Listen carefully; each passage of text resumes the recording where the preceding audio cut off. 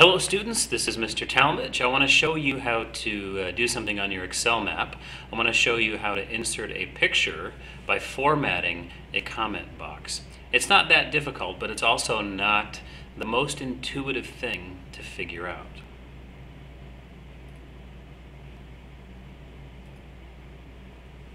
So here are the basic steps.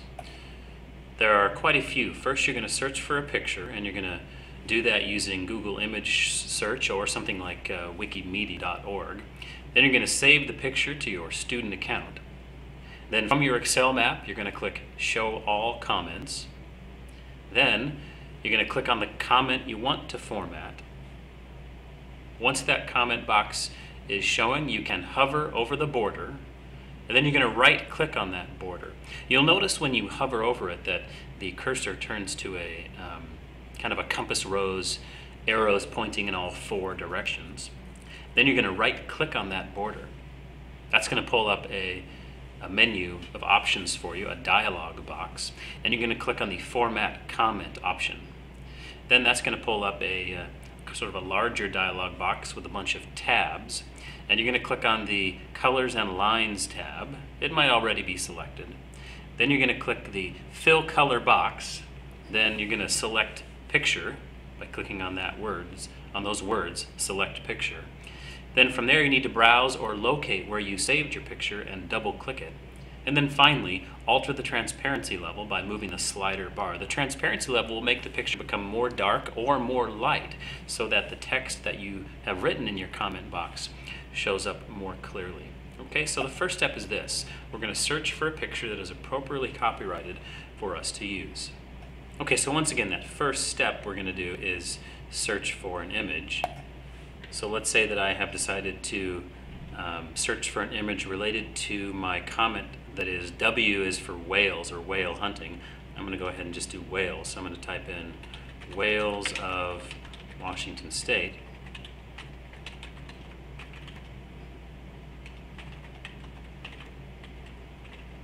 Washington State. Oh, spell it right. Washington State. Okay, there, got it. And I could click search. Then I could select images. But from here, I'm probably going to want to select strict safe search. Not probably, definitely select the strict safe search. And let's see what pulls up. Get some things for whaling. There's a nice whale there, the orca whale. I'm going to click on that image and I'm going to see full-size image. However, I notice that this image may be subject to copyright, so I'm going to go ahead and, and do a different uh, image search. I'm going to filter, I'm going to do an advanced search. And I'm going to filter for labeled for reuse and use the strict filter. Now I can have Whales of Washington State in the search box, hit Google search, and let's see what it pulls up. There we go. So these images sh should be um, ones that I am allowed to use. I kind of like this one. And I like to go to see full-size image. That's going to give me a, the picture. From here, I'm going to right-click on the picture, and I'm going to save picture as.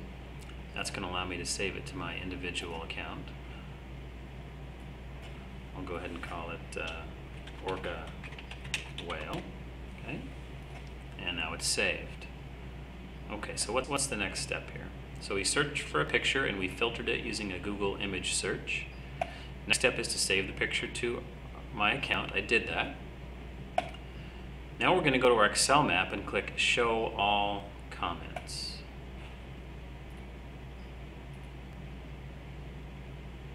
So here's my Excel map.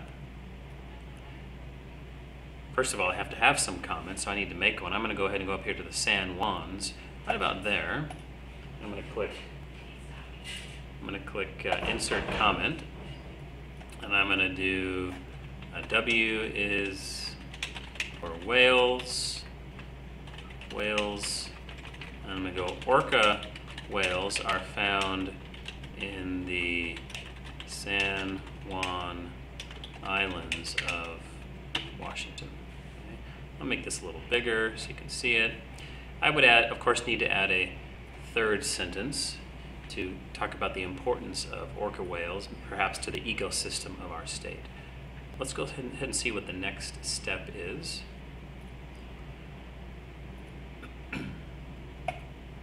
So we need to click on the comment that we want to format. So it's already selected. Now I can right, if I hover over the border, it turns to those four arrows. Now I can right click on the border.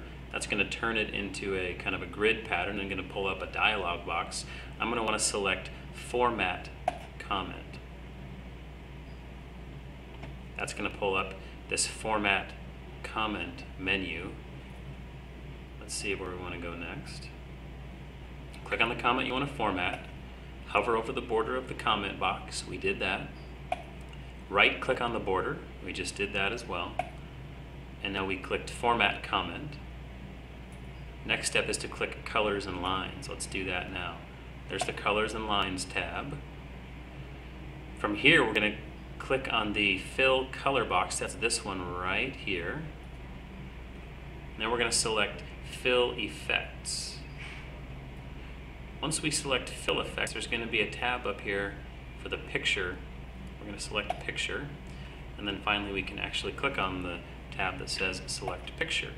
Now I can locate where I saved that picture on my student account. It's right up here, Orca Whale. I'm going to double click on that. That's going to pull it up right there. I can hit OK. The last step is to alter the transparency level just a little bit so that my text shows up more boldly in my comment box. Now I can hit OK. And we can see that the picture's in the background and the text is in the foreground. If I wanted, I could select text and I could change the color of that text as well.